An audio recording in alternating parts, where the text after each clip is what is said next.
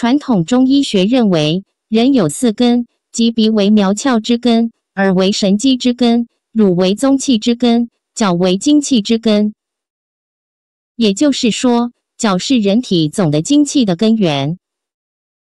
精气是人身之本，不仅能生精化血，还能补气养神。所以，做好足部养护，无疑会给人体注入能量。养护足部最好的办法就是泡脚。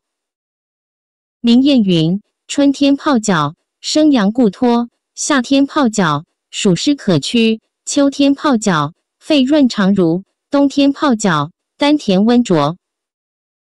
就是说，泡脚可不拘时节地点，随时随地进行。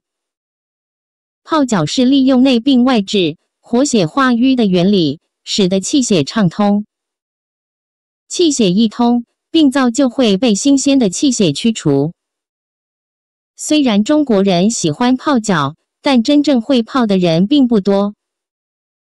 一般的水量要没过小腿，泡脚时最好选择较深的木桶，水温不能太高，也不可太低，保持在四十度为宜。泡脚过程中要不断加入热水，防止水温下降。有些人一泡脚，身上就会出汗，这说明体内的经络是通畅的。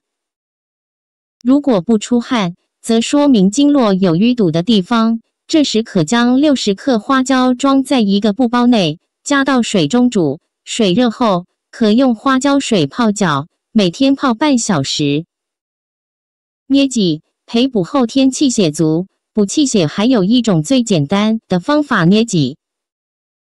捏脊的好处很多，能起到全面保健作用，它可以健益脾胃，督一身之气。还可以调理脏腑、疏通经络、升降气机。另外，捏脊还有滋阴补血、平抑心火的作用。捏脊就是捏脊梁骨，从尾椎骨一直捏到脖子。捏的时候不必拘泥于穴位，因为脊柱及其两侧正是督脉和足太阳膀胱经的行走路线，捏脊可以刺激两条经络。捏脊的方法很简单，捏起皮肉，放开，再捏起皮肉，再放开，不断重复。究竟什么样的情况适合捏脊法呢？一般脸色呈土黄色的人，脾胃都有问题，这种人少言懒动，吃东西时偏食，这种情况就可以用捏脊法解决。捏脊还可强健小孩的脾胃。尤其对小儿积食症有奇效。